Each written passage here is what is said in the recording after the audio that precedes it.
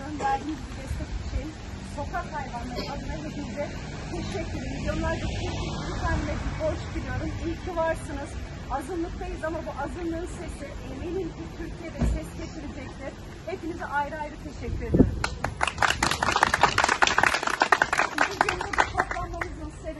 Eee, günlerdir hatta haftalardır hatta bir yıl öncesinden bu yana sokak hayvanları için üretilen bir yasa vardı. Bu yasanın öngörülmesi için sürekli baskı var. Kaldı ki biz STK'lara eee, ve eee, Başkanım buradayız. yerel hayvan koruma görevlilerine de aynı şekilde baskılar düzenlenmiş olup sokaktaki hayvanlar için çalışmalarımız her zaman kısıtlanmıştır. Ee, toplum olarak da bu kısıtlamalara hayvan sevmeyen veya hayvan kork hayvanlardan korkanlar tarafından sürekli baskı altına alındığımız gibi e, sokakta besleme yapan birçok hayvansever arkadaşımızla dartlarla şiddetle karşı karşıya gelmiştir. Ve buna da çanak tutan maalesef bir hükümetimiz olmuştu. Ee, bu bağlamda da e, Cuma günü yasa teklifi sunuldu. Hayvanların ölümüyle alakalı bir yasa teklifi sunuldu. Ve bu teklifin geri çekilmesi için burada toplandık. Sayın Cumhurbaşkanımıza buradan sesleniyoruz. Dünyaya örnek olarak 2004 yılında ana hükmü belediyelerin bakım evi kurup kısırlaştırma yapması olarak çıkartılan hayvanları koruma kanununa rağmen hala daha 1389 belediyenin 1200'e yakınında e, bakım evi ve kısırlaştırma yoktur. Kısırlaştırma yapmayan belediyelerin görev ihmali ve hayvanlar aç sevil yaşam savaşı verirken çoğalan hayvanlardan dolayı vatandaş da muzdarip ve şikayetçi olduğunda belediyeler bu hayvanları toplarken birazını öldürüp kalanlarını da ilçeler birbirlerine ve başka ilçelere, beldelere, çöplüklere, ormanlara ve otobanlara atmaktadır. Atılan hayvanlar üremeye devam ediyorlar. Bu katliam ve üreme döngüsü bu şekilde devam etmektedir. Bizler 20 yıl boyunca hayvanseverler, gönüllüler ve STK'lar olarak belediyelerin bakım evi kısırlaştırma yapması için yetkilileri kurumlarca belediyelere denetim, idari ve cezai yaptırım gelsin diye mücadele ettik ve etmeye de devam ediyoruz. Fakat yasayı uygulamayan ve görev ihmalinde bulunmaya devam eden belediyelere yetkili kurumlarca ne denetim yapıldı ne de idari cezai yaptırım getirildi. Ve şimdi bir kısım bürokratlar ve bazı siyasiler belediyelerin görev ihmallerinin bedelini kendi iradeleri dışında bu dünyaya gelen hayvanları öldürerek bu masumlara ödetmek istiyorlar.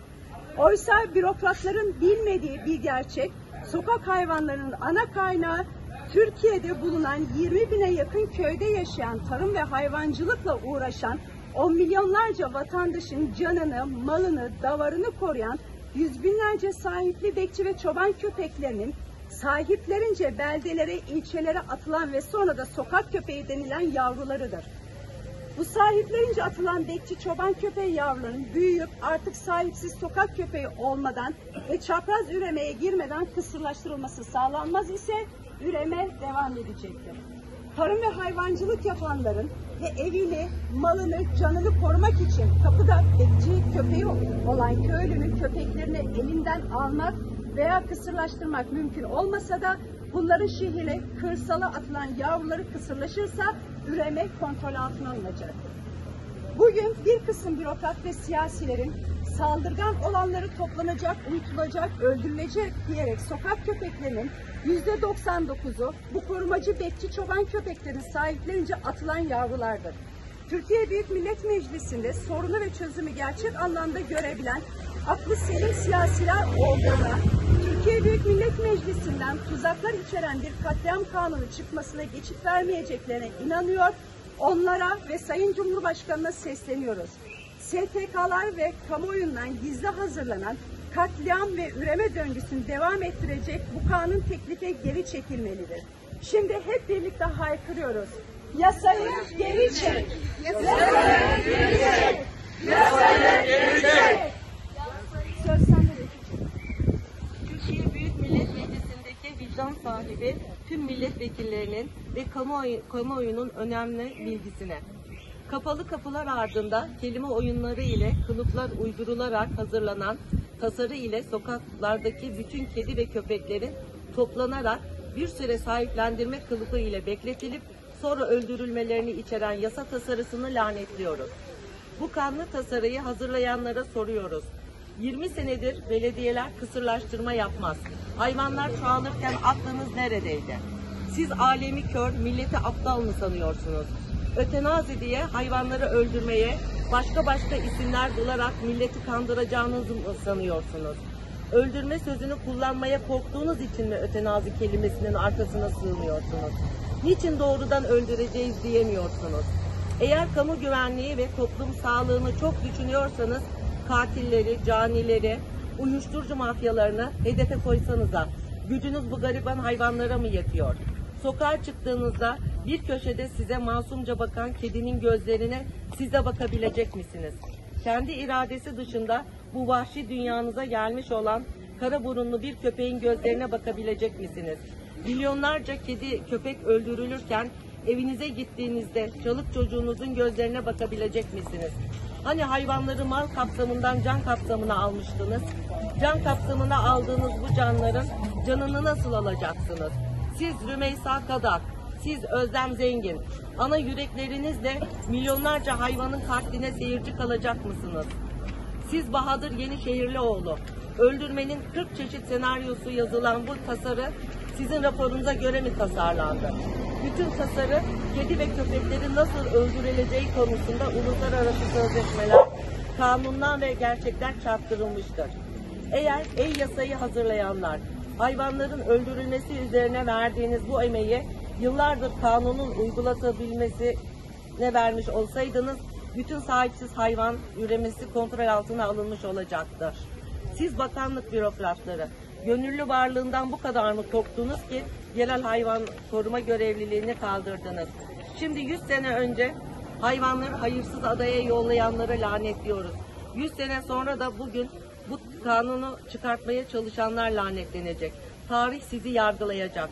Andımız olsun ki size bu hayvanları. Öldürtmeyeceğiz.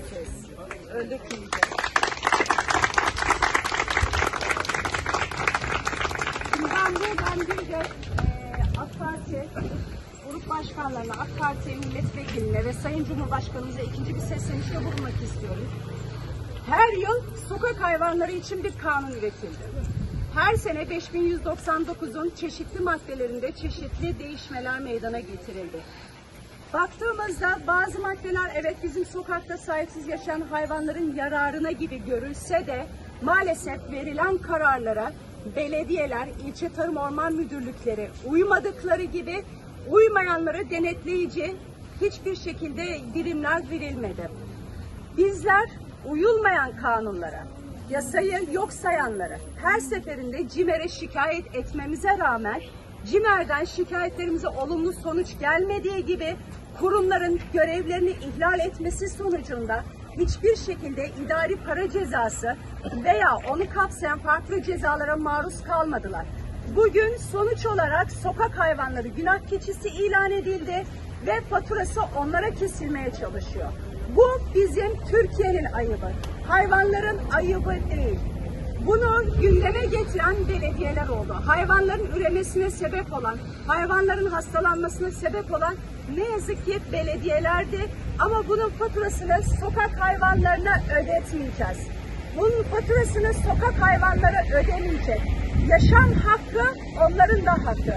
Bugün TCK'da hayvanlar mal kapsamından çıkıp can kapsamına girdiyse herkes vermiş olduğu sözün arkasında duracak ve bu hayvanlar hak ettikleri yaşamı sürdürmeye devam edecekler. Yasayı geri çek. Yasayı geri çek. Yasayı geri çek. Yasayı geri çek. Yasayı geri